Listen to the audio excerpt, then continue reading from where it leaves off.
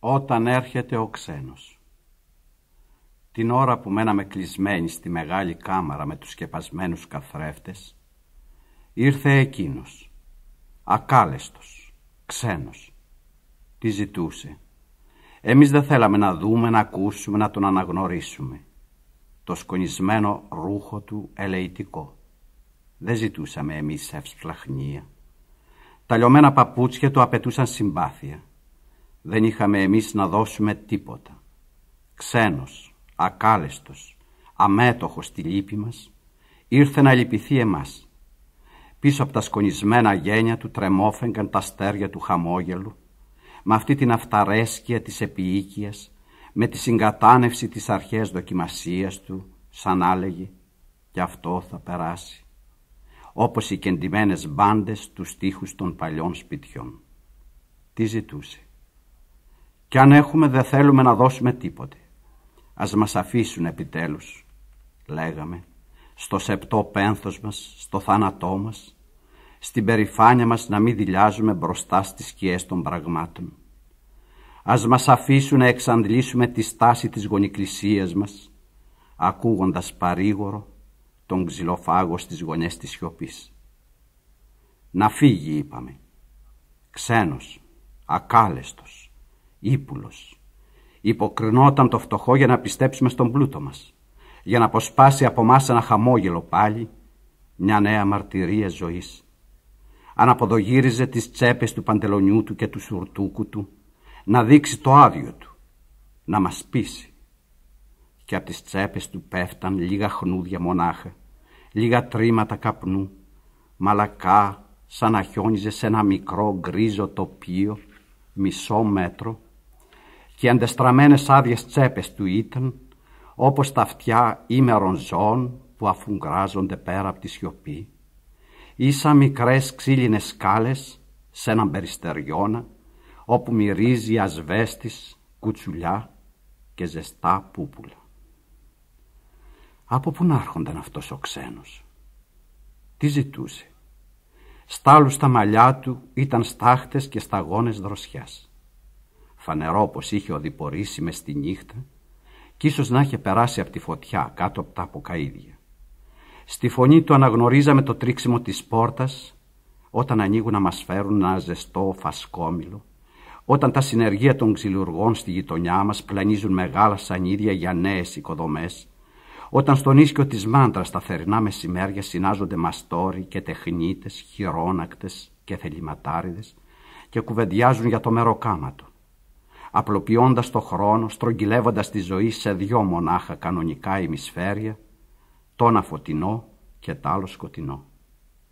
Κι ύστερα, στη μικρή σιωπή που μεσολαβούσε, ακουγόταν το τελευταίο περσινό φύλλο που ξεκολούσε από το δέντρο και έπεφτε με έναν τρομακτικό και ανήκουστο θόρυβο ανάμεσα στα γόνατά τους και αυτοί συνέχιζαν πάλι τη δίκαιη κουβέντα τους για το ψωμί και το αλάτι ενώ ο ξένος συνέχιζε μόνος του.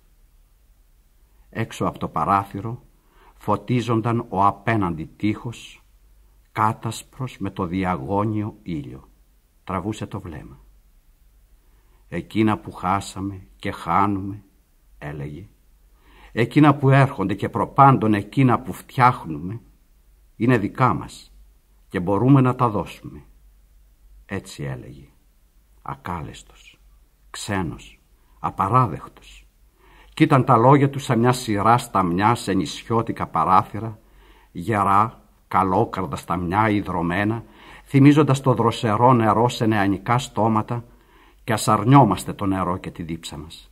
Θυμίζανε ή τις γλάστρες με τα βασιλικά, τα γεράνια, την αρμπαρόριζα, την ώρα που βραδιάζει και γυρίζουν τα ζώα από τη βοσκή και ο χρόνος είναι μαλακός και απέραντος, διακεκομένος μόνο από τα κουδούνια των προβάτων, από τον καπνό των βραδινών καπνοδόχων που μοσκοβολούσε ταπεινότητα, καρτερία, μετριοπάθεια, πάνω από τους λίχνους που ανάβανε πριν από τα στέρια, πάνω από τα στέρια που ανάβανε πριν από την προσοχή μας και τη γνώση μας.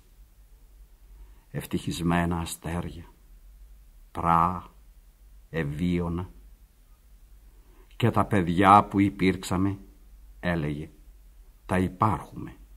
απαλλαγμένα κιόλας από τη στενότητα των πρώτων μας χρόνων, από την ανυπομονησία της αύξησης, από τον μεγάλων την παρεξήγηση. Τα παιδιά κλαίγαν κατά μόναχα, ανάμεσα στα θάμνα, και κανένας δεν τα έπαιρνε στα σοβαρά γιατί τα πρόσωπά τους ήταν βαμμένα από τα μούρα ή τα βατόμουρα και ήταν η λύπη τους κόκκινη και αστεία. Τα υπάρχουμε, έλεγε. Τα διατηρούμε τώρα σε ένα φως πιο πλατή, μαζί με τον απέραντο κάμπο, μαζί με τα στάχια και τις παπαρούνες, μαζί με τα μπέλια, μαζί με το λινό και τα πόδια των αμπελουργών βαμμένα ως τα γόνατα από το μούστο. Τότε που οι άντρες με σκισμένα βρακιά και σκισμένα πουκάμισα, βρίζονταν δίχως λόγο και δίχως θυμό. Μεγάλες, γυμνόστιθες βλαστήμιες, δασίτριχες βλαστήμιες που τον ανόητο αντρισμό τους και την ευθυμία τους απόφευγαν τα κορίτσια κρυμμένα πίσω από τα πελώρια τσαμπιάτων στα σταφυλιών, πίσω από τα φαρδιά κλιματόφυλλα και τα αυτιά των γυναικών ήταν κρουστά και ρόδινα σαν πρωινοί ορίζοντες αρκεί να σπάσουμε την πολιορκία της στιγμής, έλεγε. Αρκεί να θυμηθούμε. Τότε που κόβαμε καλάμια από τους όχτους και φτιάχναμε κοντάρια, πετώντας τα πάνω από τα ψηλά αρχοντόσπιτα, δοκιμάζοντας τη δύναμη των χεριών μας, του ξύλου, του σίδερου, της πέτρας, του ανέμου, πολλαπλασιάζοντας ανύποπτα τη δύναμη των χεριών μας, μαθαίνοντας να κυβερνάμε όχι μόνο το στέρεο, μα και το ανάλαφρο. Η εξοχή τότε μοιραζόταν σε κύκλους μοναξιάς, δίπλα στις πικροδάφνες, τις αλληγαριές, τα βάτα. Τα πουλιά πρωτομάθαιναν τα ονόματά τους, το ίδιο και τα δέντρα και τα πράγματα. Ο σουλιάς που πελεκάς στο καλάμι, η μικρή φυσαρμόνικα στην τσέπη σου, ο δόκανος, η ξόβεργα, η φλογέρα, το βήμα του αρνιού, το χρεμέτισμα του αλόγου, ο ήχος του ποταμού που ήταν σαν άλλο μακρόσυρτο χρεμέτισμα ενός αλόγου φωτεινού σ' όλο το μάκρος του δαφνώνα, τα ξέχωρα χρώματα και αρώματα των λουλουδιών, το μαλλί, το μπαμπάκι, το λινάρι, το μετάξι, το κυνήγι των μελισσουργών, τα χαράματα στις λεύκες, ο πολύχρωμος ουρανός των χαλταϊτών, το τέντομα του σπάγκου κι ύστερα η χαλάρωση, αυτή η ανάλαφρη, λαμπρή καμπύλη του σπάγκου, σαν βαθιά εκπνοή, για να τεντώσεις και πάλι το στήθος σε απέραντη ανάσα. Αργότερα θα σμπήγαν από μέσα, μόνα τους, όπως τα στέρεα φύλλα στα κλαδιά του δέντρου, δένοντας χώμα, φως και αέρα. Γιατί η κάθε φωνή είχε πολλούς αντίλαλους ανάμεσα στα δυο βουνά, τα ηλιά και τον Άι Σαράντα, κι ας ήταν ο κάμπος απέραντος σαν μια αθανασία. Σαν θυμηθούμε, είπε, ποτέ δεν έχει περάσει η ώρα αυτού που θυμόμαστε. Τα φραγκόσικα δεν έχουν μόνο χρώμα, σχήμα, γεύση. Συγκεντρώνουν έναν ολόκληρο κόσμο νοήματα και σπόρους μέσα στην πράσινη τριχωτή γροθιά τους. Όταν την αυγή τεινάζεται ο κορυδαλός στα ύψη και ο ύμνος του κάθετος και λικοειδής κάνει τη γη να γυρίζει σαν σβούρα στην ανοιχτή παλάμη μας. Μύριζε τότε η νοτισμένη ρίγανη, ο σανός, τα άγρια τριαντάφυλλα. Οι αγωγιάτες πότιζαν τα άλογα στη βρύση κάτω από τα πλατάνια. Τα άλογα κόβαν τις τριχές τους το μεσημέρι και χάνονταν καλπάζοντας το διάστημα. Το κακάρισμα της κότας ήταν μια δόξα μέσα στο χρυσό αχερώνα. Δεν είναι λοιπόν απουσία το άνοιγμα του παράθυρου ή του λάκου μπρος στον ουρανό. Δεν είναι απουσία ο καλπασμός του αλόγου, η αντικατάσταση των μαραμένων λουλουδιών με φρέσκα λουλούδια στο ποτήρι, με φρέσκο νερό, το πλήσιμο του πατηριού και μια χειρονομία που διαδέχεται την άλλη. Ποια αμαρτία. Όλα πορεύονται κάπως κυκλικά επιστρέφουν σε ένα πιο πάνω επίπεδο. Τα ξανασυναντούμε. Τα καδρόνια του σπιτιού με τα διπλά καρβέλια, με τα ρόδια, τα κιδόνια, μένουν πάντα σαν οριζόντιες κολόνες στο ναό μιας απλής γνωριμίας. Τότε τα παιδιά αρνιόντανε να κοιμηθούν τα μεσημέρια, μην κλείσουν μια στιγμή τα μάτια τους στο θαύμα του ήλιου, μη και τα αύρει το δίλη κοιμισμένα δοκίμαζαν την αφή και τη γεύση του εφήμερου. Πιο εφήμερο. Τρέχαν ξυπόλυτα στα αγκάθια της αιωνιότητας, ξυπόλυτα, όχι μήπως και τα ακούσουν οι μεγάλοι, μονάχα για να νιώθουν στις φτέρνες τους τη ζεστή κοιλιά της γης. Τα παιδιά στέκονταν λαχανιασμένα και κοίταζαν για μια στιγμή την κινούμενη εικόνα τους μέσα στο ποτάμι την ώρα που τα τζιτζίκια και οι ατσίγκανοι αναστάτωναν τις συνοικίες του μεσημεριού.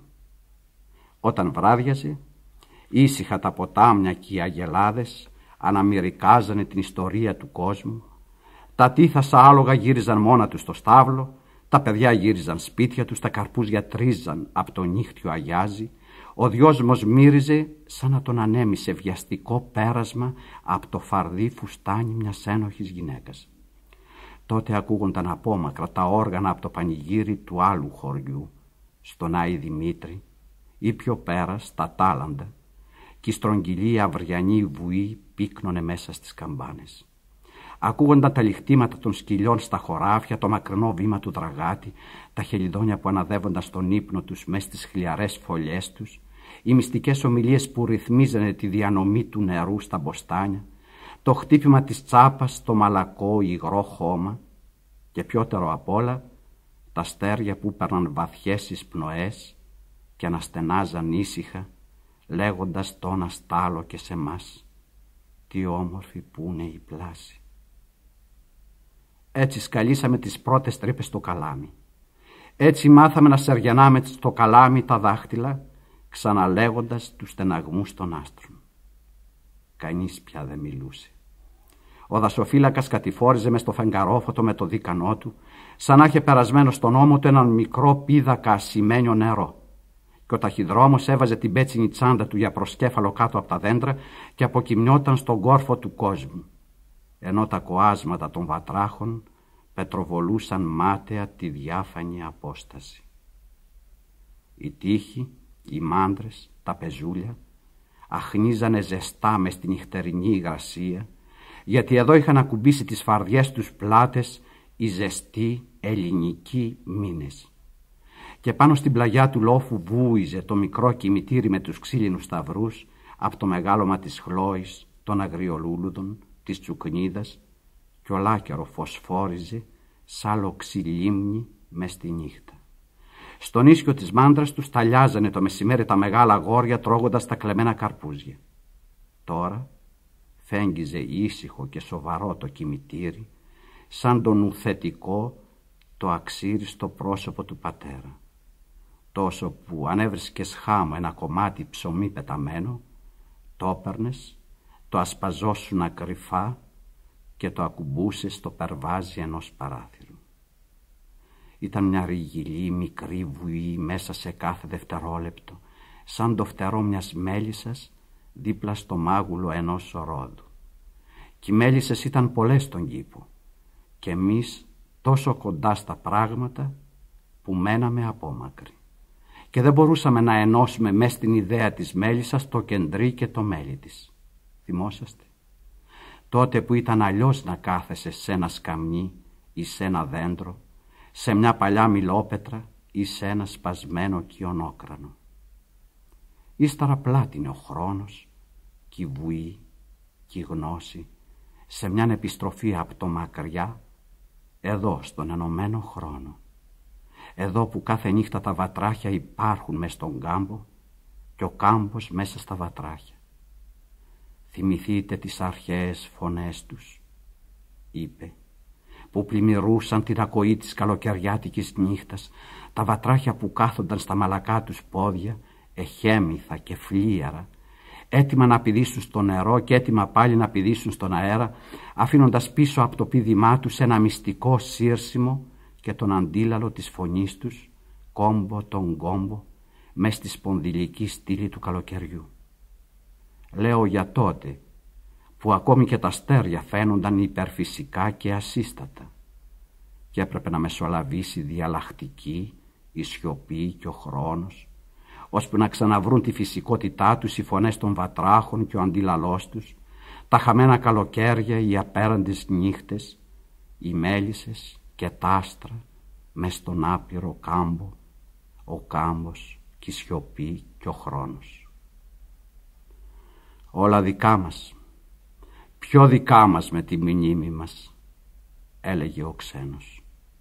Πιο ευτυχισμένα, οι μυστικοί ελαιώνες τους μικρούς λόβους με τα αποστολικά σούρουπα, τα καλαμένια τσαρδιά των χωρικών κουρνιασμένα στα δέντρα που τα φώτιζαν μόνο τα μικρά μάτια των πουλιών, τα δεμάτια οι λιγαριές που μαλακώναμε βδομάδες στο ριάκι να φτιάξουμε καλάθια, τα μελωμένα μαύρα σίκα παγωμένα από την αυγή όταν αφήναμε τα σαντάλια μας μπροστά στη ρίζα της οικιάς και σκαρφαλώναμε στον ουρανό όχι από τη σκάλα, μήτε από τα κλαδιά, μα από τα πατήματα του αγέρα. Κάθε βράδυ, θυμόσαστε, το μέγα αστέρι, σαν το μάτι του Παντοκράτορα, επιτηρούσε τον ύπνο των βοσκών και των ψαράδων. Και τα πόδια των γυναικών όταν έβγαζαν τις κάλτσες τους ήταν πλατιά και φωτεινά. Φώτιζαν τις μεγάλες ταράτσες όπου λιάζαν τη μαύρη σταφίδα, φώτιζαν τα σκαμιά και τις πόρτες. Πριν κοιμηθούν, οι γυναίκες χτένιζαν τα μακριά μαλλιά τους με ιερατικές κινήσεις, σαν άβρεχαν τα δάχτυλά τους σε αθόρυτα κάθετα ποτάμια, σαν να συνομιλούσαν με έναν άλλον έρωτα, ενώ οι άντρες είχαν κιόλας κοιμηθεί και η τραχιά αναπνοή τους έκανε να θροίζουν τα σγουρά μουστάκια τους σαν τα ξερά στάχια στον κάμπο. Οι γυναίκες, μεγάλες, μυστικές, μονάχες, σχεδόν αυθύπαρκτες και αυτάρκεις, συνέχιζαν μια αόρατη συνομιλία ενώ χτενίζονταν σαν να υπαγόρευαν μια συμμαχία με τα υψηλά στρώματα της νύχτας, επικυρώνοντας ένα-ένα τα άρθρα των άστρων με μια ανεπαίσθητη κίνηση του κεφαλιού.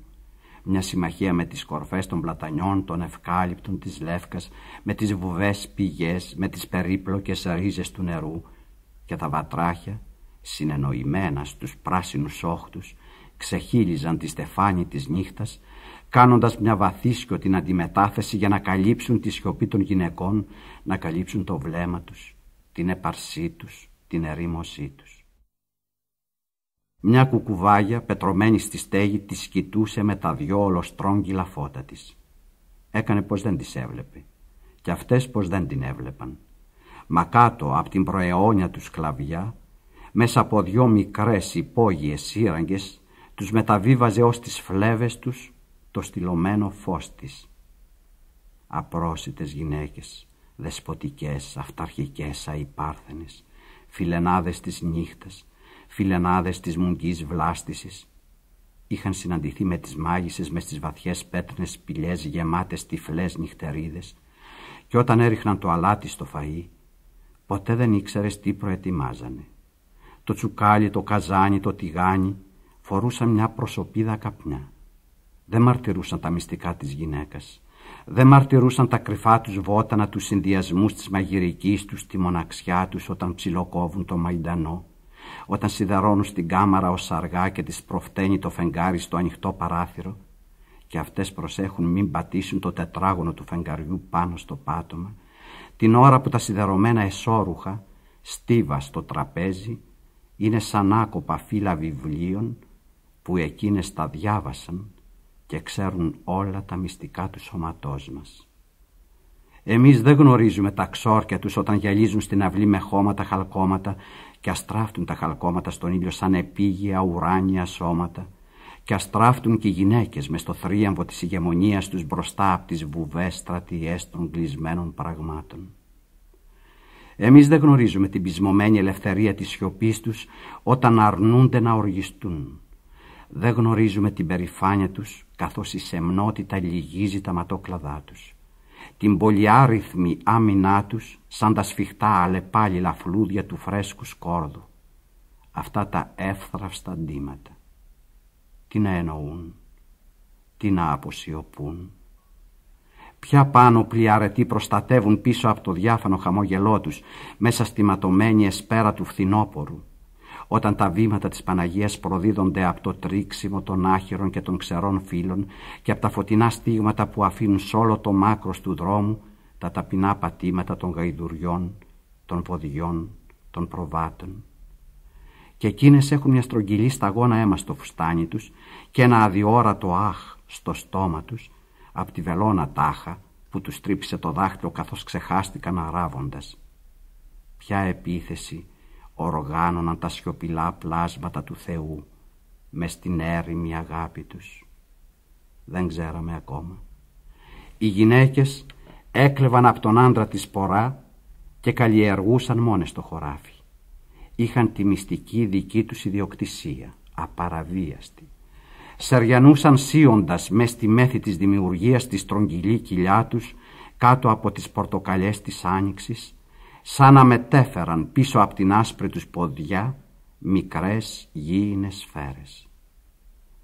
Ποτέ δεν μιλούσαν οι γυναίκες, αγέροχες. Ανήκαν στο μέλλον αυτές. Προχωρούσαν όταν οι άντρες σταματούσαν κάθε τόσο μπρος το αλέτρι ή όταν κρατούσαν το δρεπάνι σαν το κουρασμένο φρύδι του φεγγαριού μες στην ασάφεια του απόβραδου. Αυτές, μόνες μες στο περβόλι με τα υψηλά ηλιοτρόπια, περίμεναν βέβαιες τη γέννηση και τα ηλιοτρόπια τους φώτισαν το λαιμό και το πρόσωπο με φωτεινούς κύκλους και οι πρώτες ρόδινες φακίδες στα μεγάλα μετωπά τους ήταν τα μυστικά σημάδια της αιώνιας ζωής όπως η βολβή των φυτών, οι πατάτες των κυκλάμινων, όπως οι απόρριτες ρίζες των δέντρων που δουλεύουν χωρίς να τις ακούμε, χωρίς να τις βλέπουμε. «Είναι πάντα μια γέννηση», έλεγε ο ξένος και ο θάνατος μια πρόσθεση, όχι αφαίρεση. Τίποτα δεν χάνεται. Για τούτο οι άντρες, όταν νιώθουν το φόβο από τη δουλειά, από τη φθορά, από το κενό, από τις εφημερίδες, από τη μνήμη των πολέμων, από το τρίξιμο στις κλειδώσεις των δακτύλων τους ή από την κραυγή του ήλιου που σφινώνεται στα κόκαλά τους, αρπάζουν τις γυναίκες όπως αρπάζουν τα κλαδιά ή τις ρίζες ενός δέντρου πάνω από τον κρεμό και ορούνται εκεί πάνω σαν να παλεύουν ή να παίζουν με το χάος. Και οι γυναίκες ξέρουν και κλείνουν τα μάτια τους. Δεν λένε όχι. Περιμένουν. Και όταν αυτοί κοιμούνται πάλι εκείνες αγρυπνούν και είναι και αυτοί παιδιά τους όπως τα παιδιά τους. Θα τους μεγαλώσουν και αυτούς όπως και εκείνα. Θα τους ταΐσουν με το μαστό τους, με τη σιωπή τους και με την αρνησή τους κάποτε. Θα τους ποτίσουν ξανά με τη δίψα της Ένωσης. Και ένα πελώριο κύμα σκοτεινό θα στρογγυλέψει την ορμή του κάτω από τα αντρικά πλευρά, πανέτοιμο να χτυπήσει κατά κούτελα τα φράγματα, να συντρίψει τα φράγματα, ώσπου να σβήσει στην καθημερινή αμμουδιά, στα μικρά βότσαλα, στην κούραση, στη λησμοσύνη, δίχως πολλές φορές να βρει να χτυπήσει το βράχο, να την αχτεί δοξαστικό ψηλά, σαν αντίστροφος καταράχτης μιας συντριμμένης έντασης. Όμως και πάλι οι γυναίκες σαν να μην είδαν το χαμηλωμένο κύμα τους, θα τους αφήσουν να πλαγιάσουν προς τη μεριά του τείχου, θα ασχοληθούν με τις δουλειές του σπιτιού που κρατάνε τα μάτια χαμηλωμένα, θα γονατίσουν μπροστά στη σκάφη να πιάσουν από βραδύ στο προζύμι, σαν να μην πρόσεξαν το κράνος των ανδρών που πέσε κατά γης. Θα το μαζέψουν ήσυχα και εκείνο, σαν να ήταν μια πύληνη γλάστρα. Θα φυτέψουν αργότερα εκεί μέσα λουλούδια, μικρά λουλούδια, σπιτικά, κάτι γαλάζια, πεντάφυλλα λουλούδια. Θα τους μαντάρουν πλάι στη λάμπα τα τσουράπια τους, με εκείνο το υπομονετικό ξύλινο αυγό. Θα τους μαντάρουν τη χιλιοτρυπημένη εμπιστοσύνη τους, γιατί οι άντρες πολύ περπατάνε, πολύ κουράζονται, πολύ φοβούνται, πολύ πολεμάνε και είναι λεβέντες με τα στριφτά μουστάκια τους, τις άγριες τρίχες τους, τα άγρια όργανά τους και είναι παιδιά και ούτε γνωρίζουν τη δύναμή τους. Μονάχα από καυγάδες και παλικαριές γνωρίζουν, γιατί αυτοί δεν έμαθαν την πλήρη αναμονή μήνες και μήνες και την άλλη χρόνια. Αυτοί δεν φέρουν στα σπλάχνα τους τη ζωή, δεν την ταΐζουν με το σπλάχνο τους, δεν ακούνε τα βήματα του επερχόμενου μέσα τους. Δεν είναι υγιής, μονάχα ο σπόρος που ρίχνεται στη γης. Κι ύστερα ο κάματος και ο ύπνος. Ύπνος πλατής και βαθύς, χωρίς όνειρα. Τα όνειρα πάλι τα κρατάνε οι γυναίκες. Μα κάποτε ακούνε οι άντρες μες στον ύπνο τους τον ύπνο τους. Ακούνε τα ίδια τους τα βήματα μέσα στον ύπνο. Σαν να σηκώθηκαν σε μια πομπή τα τέλεια γάλματα, σαν να μιλούν οι πέτρες, τα ποτάμια, τα δάση και ο γνωρισμένος ύπνος τους περιβάλλει τη γη καθώς ο αγέρας, τη γη με τις γυναίκες, τα παιδιά, τους αιώνες. Τούτος ο ύπνος γίνεται η γνωριμία όλης της έκτασης του βασιλείου μας. μια σκάλα ρηγμένη μέσα στο άπειρο, το μέγα ξύπνημα μέσα σ' όλο το φως της όλης δύναμής μας.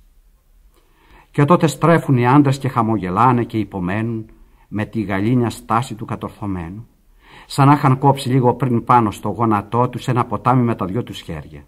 Έτσι η γαλήνια Τόσο που μόνο μιας οι γυναίκες τρομάζουν, χάνονται στην κουζίνα, θυμιάζουν τα κονίσματα, ετοιμάζουν φασκόμηλο και βεντούζες και ένεμο χοκάρχια στη φλόγα της καντήλας, ρίχνουν σταγόνες λάδι στο ποτήρι το νερό, σταυρώνουν το ψωμί και το προσκέφαλο. Μα ο ίσκιος της ξύλινης σκάλας ανεβαίνει πάνω από το ταβάνι. Και οι πλεξούδες στα κρεμμύδια σαλεύουν από αόρατους ανέμους, σαν μπανιά καραβιών που τους παίρνουν τους άντρες τους και στα κρεμασμένα μπρίκια καθρεφτίζονται άγνωστα πρόσωπα της παλιάς τους φαμίλιας που επιστρέφουν. Ο σταυρός, ο χαραγμένος στο ζυμάρι, ορθώνεται. Ο ασβέστης στο λάκκο της αυλής αρχίζει να κοχλάζει. Οι πετινοί λαλούνε όλη τη νύχτα, σαν να ξημερώνει εφτά φορές, σαν να μην νύχτωσε καθόλου και τα πρόσωπα των αρσενικών, ακόμη και των πιο μικρών αγοριών, αστράφτουν μες στο βράδυ, γιωμάτα πιτσιλιές σουβάδες, σαν να χτιζαν ολιμερείς μια μεγάλη εκκλησία, ολογυμνές κολόνες και πελώρια παράθυρα, χωρίς χρωματιστά τζάμια, χωρίς εικόνες, χωρίς επιτάφιους, με μια υψηλή λευκότητα, χωρίς σκιά, χωρίς πληγή, χωρίς θάνατο. Κι είναι σαν μια έξοδος από το χρόνο, σαν καθήλωση του χρόνου, σαν κατάργησή του, από την ταχύτητα της σκέψης και της μνήμης και του ονείρου και από την υπομονή της ανθρώπινης πράξης. Είναι η ένωση, είπε, του άντρα και της γυναίκας, της σιωπής και της φωνής, της ζωής και της ποίησης. Και πια το σφύριγμα της ηγαλιάς μέσα στις κλειδαρότρυπες των σπιτιών δεν γίνεται πίσω από την πλάτη σου και το φύσιμα της νύχτας μες στις τρύπες των άστρων δεν είναι ένα σύνθημα για κάποιον άλλον που εσύ δεν τον βλέπεις και υπονοεί εσένα. Οι πόρτες πάνω και κάτω μένουν ορθάνυχτες. Φυσάει ολόγερα με παρησία ο αγέρας. Καθαρίζει η ατμόσφαιρα. Τα κλειδιά χρηστεύονται από μόνα τους. Κι όλος ο κάμπος, ο αρχαίος, ο χοντροκόκαλος, τρέμει τα μεσάνυχτα σύγκορμος από το βουητό των γρήλων, από τις κραυγές των βατράχων, από το πριόνισμα του γαλαξία και το φεγγάρι που ανεβαίνει τελετουργικά από τον ορίζοντα είναι σαν τον καινούριο μου σκεμμένο κουβά που ανεβάζει το αμήλυτο νερό από τον κάτω κόσμο. Τότε τα κόκαλα των Ελλήνων, των Φράγκων, των Ενετών, των Τούρκων, των Ελλήνων, θα μένα κάτω από ολόκληρα βουνά χρόνια και χώματα, αρθρώνονται έξω από τις πρασινισμένες πανοπλίες τους, έξω από τα σάπια τους ρούχα, γυμνά σώματα, ευαίσθητα, ακέρια, στέρεα και ερωτικά, μέσα στην πρώτη γνωριμία των αισθήσεων, όχι εχθρικά τον αστάλο, όχι αντίπαλα, με μόνο τους όπλο, την αρχαία επιθυμία τους, το αίμα μας, τη μνήμη μας. Τότε τα χέρια των ανδρών φαρδένουν. Ο αντίχειρας γίνεται ένα μεγάλο γεφύρι πάνω από τους αιώνες. Τα βουνά είναι σαγόνιμα στήθια γυναίκας, λία και αγέροχα, ογκωμένα από το γάλα και τότε τα ιερά ανθρώπινα εργαλεία κρέμονται στα καρφιά του σπιτιού ή στα εργαστήρια ήσυχα, σοβαρά, ανεξίθρισκα σαν πως να μην υπήρξε χωρισμός και χάσμα και απουσία και στέρηση. Το οδοντοτό πριόνι με το στενόμακρο σχήμα μιας χιλιετηρίδας, το σφυρί σαν το άγαλμα της αντρικής γροθιάς, το δρεπάνι σαν το ανοιγμένο μπράτσο του έρωτα, και οι μετάλλινες πρόκες σαν τα επίμονα δόντια που κατατρώνε την απόσταση και το άγνωστο. Ακόμη και τα ξύλινα καρφιά που καρφώνουν τα παπούτσια είναι σαν μικρά αστέρια μπηγμένα σε ένα χαμηλό χρήσιμο στερέωμα. Ο ξυλοφάγος με μια σταματάει τη δουλειά του και αφουγκράζεται τα πυκνά συντεταγμένα βήματα των σταφυλιών, τους σπόρους που ανοίγουν τις κευρωμένες πόρτες τους. Και η μαύρη μελίγκρα που πολιορκούσε τα κόκκινα φύλλα της ροδιάς σοριάζεται στο χώμα και τα τριαντάφυλλα ανάβουν στους κήπους. Κίνη την ώρα οι άντρες παίρνουν μια άλλη οικειότητα μετάστρα καθώς γυμνόστιθοι σκύβουν στο παράθυρο σαν άκοβαν με το σουγιά τους ένα δροσερό πεπόνι και ρίχουνε τους νοτισμένους σπόρους κάτω στη νύχτα. Και τότε το τρίξιμο των παλιών σανιδιών κάτω από τα γυμνά πέλματα της γυναίκας που σηκώθηκε τα μεσάνυχτα αποκτάει μια άλλη ειλικρίνεια και αγαθότητα σαν πως να λέει το φαγωμένο πάτωμα. Πάτα ελεύθερα. Τα παιδιά κοιμούνται ήσυχα.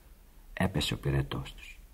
Και οι γυναίκες χαμογελούν πάλι ολομόναχες μες στη σοφία της διάρκειας και τα παιδιά χαμογελούν στον ύπνο τους σαν άμαθαν με μιας το μυστικό της αρχιτεκτονικής μέσα στην ίδια του τη μυστικότητα από τους χωμάτινους προμαχώνες της φύκας με τις πολλές απίθμενες οπές και από τα κέρινα εξάγωνα κελάρια της μέλισσας.